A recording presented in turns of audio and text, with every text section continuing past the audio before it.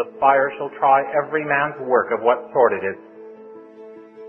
At the judgment seat there will be a fire. And some people fear the fire, but it's grace that puts the fire there. Anything that we've done for self-glory, it will look so tacky, so cheap and tawdry. We'll say, Lord, put it in the fire. Get rid of it. We don't want it there.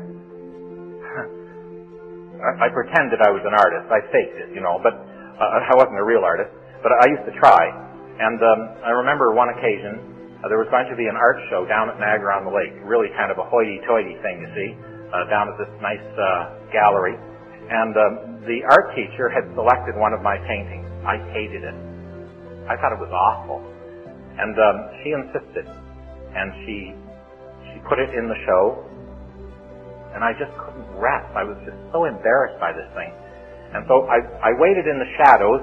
Uh, I knew exactly when the show was going to begin, and I was the first one in the door. And as I walked down through these galleries looking at all these lovely paintings, I, I grew more and more distressed as I saw the caliber of all the other paintings. I came around the corner and there was my grisly thing, and I and I took it off the wall and I trashed it. And uh, you know, the next morning, the teacher was horrified. She said, uh, you, you didn't want to put it in the show, and I insisted, and now it's gone. I said, I'll get over it. I should have told the dear woman. But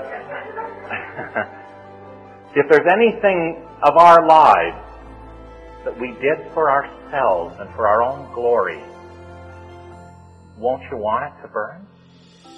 It's not in judgment. There's no condemnation to those in Christ Jesus. It's not judgment. The judgment is past. But the fire is there to get rid of anything that would be substandard. And you know, when you read the story of David in Samuel, and then the, the story of David in Chronicles, and you calculate the number of years, you'll find out that when you get to Chronicles, the number of years that are missing in the calculation are the number of years that he was out of fellowship with God. As if the Lord's just going to evaporate the whole thing. You see, the fire shall try every man's work of what sort it is. You wouldn't want wood, hay, and stubble in heaven, would you? In a place where they use gold for asphalt? Where the, where the gates are pearl? It's grace that puts the fire there.